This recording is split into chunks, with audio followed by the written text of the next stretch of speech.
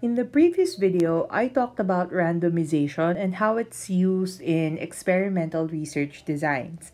I also mentioned that it's not the same as random sampling and that the goal of randomization is to eliminate systematic differences in groups.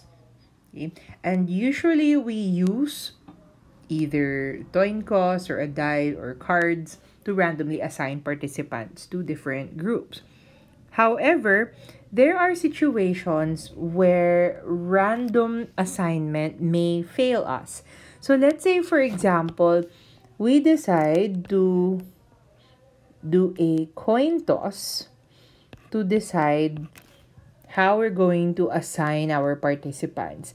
So let's say for the first participant, after our coin toss, no, we find out that, okay, the participant will be assigned to the control group.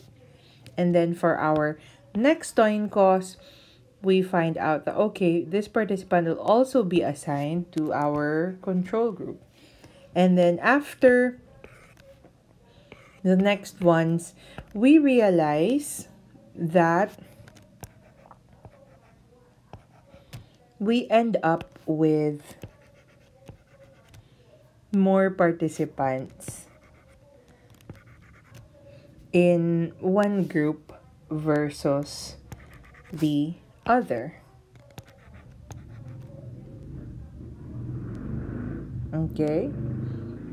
So now that we have that, we see that there is a, a quite a big difference between the number of participants and the characteristics of the said participants. And if you think about it, it probably did not eliminate systematic differences among our groups because we have definitely all the triangles are in one group and not in the other. And so, whatever the results of the study are, they would not be representative of these two kinds of groups. So, what instead we could use another technique, which we will discuss later on. But I'd like to also mention other things that we need to take into consideration where random assignment would probably not be the best option. So let's say, for example, you want to compare males and females in a certain characteristic. So let's say you want to make males and females watch a film and try to measure their reaction on that said film. Now, if you like let's say use random assignment it would not make sense because you are actually comparing two different sexes and there and so they should not be randomly assigned to two okay to two different groups instead they should be assigned based on their existing biological sex the same is true let's say if you want to do an experiment where you want to compare the behavior of people from two different age groups, say 15 and 18 year old students.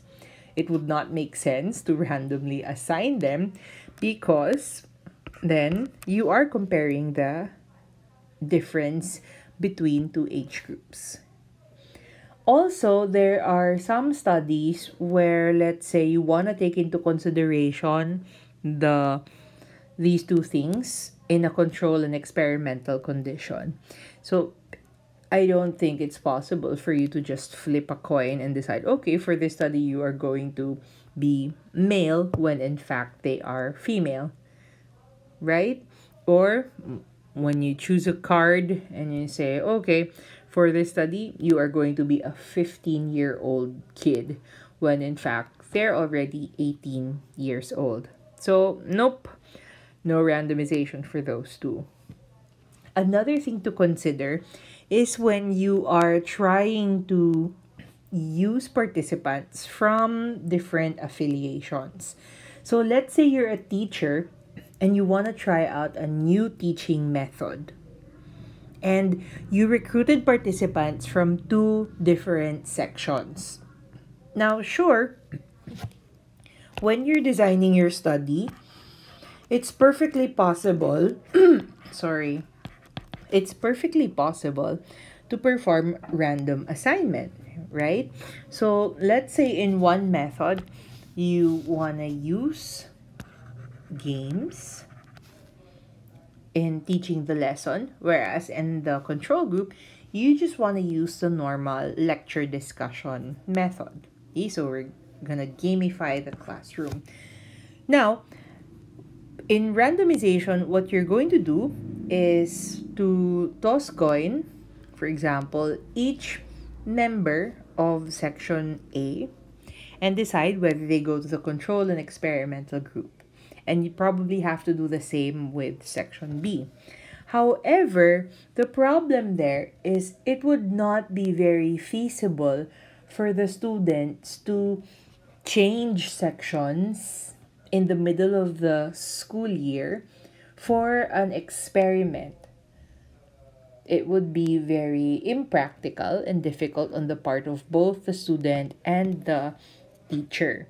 And so, very often, what happens in experiments like these is that the experimenter will just toss coin and decide which section gets to be the control group and which one gets to be the experimental group. So let's say I toss coin okay, and I see that, okay, for this study, section A will be our experimental group. That's pretty much it. The same is also true if you are recruiting participants from two different schools, for example, CPC versus FAF. Now, definitely, you could randomly assign them and say some of the students from CPC will be control group, some will be experimental group. But in some cases, some research is saying, oh, it's it's pretty hard, especially if you're dealing with the same students from the same section in the same school. So sometimes what happens is that they just run the experiment on the whole class from that one group. Okay, so really you have to take into consideration what question are you trying to answer? Are you trying to compare two groups with two different characteristics, such as these? Or whether it is too impractical to have to randomly assign your participants to two different groups or if you are actually worried that you might end up with a lot more participants in one group versus the other. So one way we try to solve this is by matching our participants. So this is used in cases when participants cannot be randomly assigned to conditions. And how we do it is we simply match participants on relevant background variables and discard those without a match. So what we usually do in cases like that is we, let's say we, oh, sorry. So let's say we have two groups.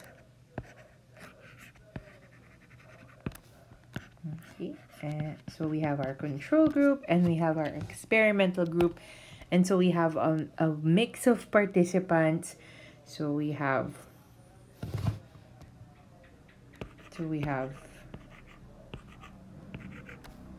we have a mix of triangles and stars.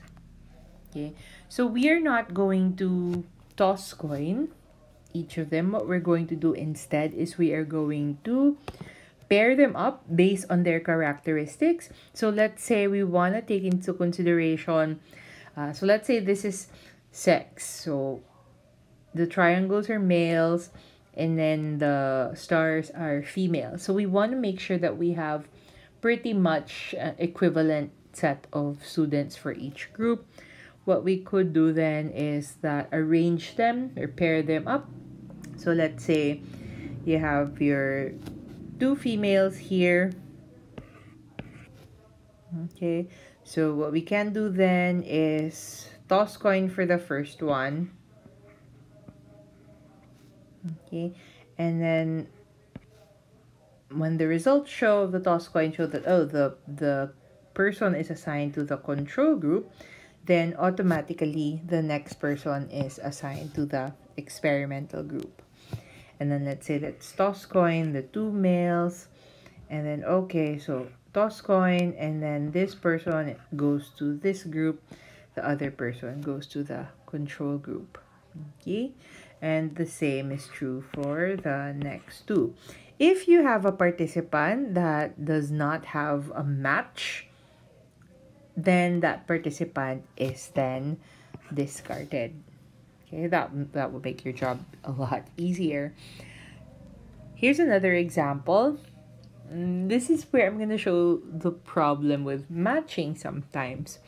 Say you have six participants and you want to match them on characteristics such as sex and educational attainment. So for participant 1, so participant 1 is female and she finished high school. Participant 2 is male and he finished college, so on and so forth. Right? So, what we do now is we try to match the participants and then toss coin to decide which one is going to go to the control group and which one is going to go to the experimental group. So participant 1 is most likely going to be matched with so participant 1 is female and uh, high school graduate. So participant 1 will most likely be paired with participant 3. Okay. And then participant 2 who's male and who's a college graduate most likely be paired with participant 5 who's also male and a college graduate. Okay. Now we have participant 4 who's a female and is a college graduate and then we have uh, participant six who's male and who's a high school graduate. So that is the question now. Okay, so we have one F and then high school. And then you have three who's also female and who's a high school graduate. Then you have two who's male and who's a college graduate. And then you have five who's male and who's a college graduate. But then, what are you going to do with the other participant? So participant 4 is female and is a college graduate. And participant 6 is male and is a high school graduate. So in that case, if you really want to match them, then you'd have to discard those participants. But in some cases, even with that matching, there is still what we call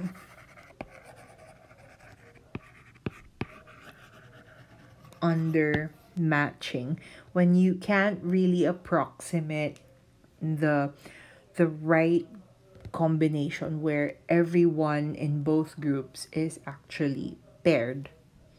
So in those cases, even in matching, there is still a slight problem.